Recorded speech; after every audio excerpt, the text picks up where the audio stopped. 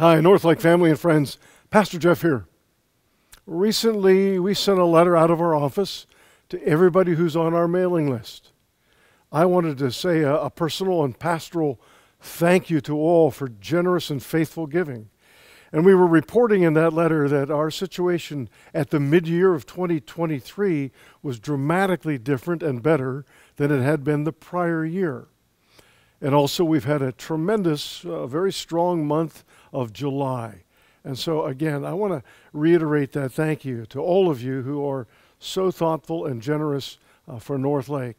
You know, as, as you give, I, I hope that you are able and, and conscious of giving to the glory of God, but also understand the impact that you have and how your giving really determines the scope and the vitality of our ministries and of our mission support locally and around the world.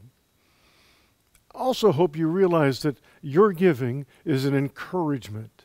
It encourages our, our elders, our deacons, all of our officers and staff. And so, uh, what you decide with your gifts makes a huge difference to the glory of God through North Lake Presbyterian Church.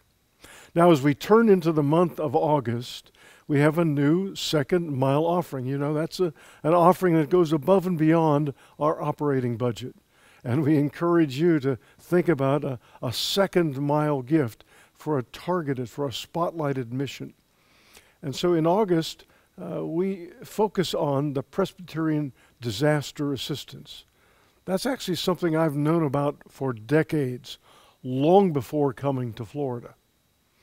But when I experienced the PDA, or Presbyterian Disaster Assistance, before, in Pennsylvania or Ohio, it typically had to do with an episode of flooding or maybe a tornado. In any case, those, if they were local, were much more mm, locally defined, that is, maybe affecting a, a single community or two. What I have experienced since coming to Florida eight years ago is that when we have a hurricane, it may involve m- much of the state, uh, a whole swath or stretch of the Florida peninsula. And one of the things that was new when I came down here is how the PDA, the Presbyterian Disaster Assistance, is really coordinated so that we in Central Florida Presbytery are one of six presbyteries in the entire state who've they've created something called FlapDan, which is simply a Florida PDA network, and that works out to be FlapDan. And it's really a, a wonderful coordination of the efforts of PDA across all six presbyteries, um, from the Keys all the way up uh, to Tallahassee and, and that part of the state of Florida. So there's a coordination that goes on. And all of that is designed to enhance our preparedness and then our response when there is an emergency and then the recovery. So I want you to know that PDA is, is really a, a wonderful, um, and, and in many ways it's international, but how it functions locally, regionally, and within our state is very impressive.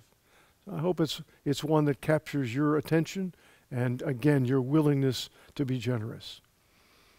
I hope we don't have another Hurricane Irma, uh, which I saw in person here in 2017. I hope we don't have anything again like we had uh, with Hurricane Ian last year. But we know that the tropical season is right here, and anything can happen. We'll be ready, we'll be prayerful, and we'll be part of a network that is always assisting and responding when there's a great need. In the name of Jesus Christ, God bless you.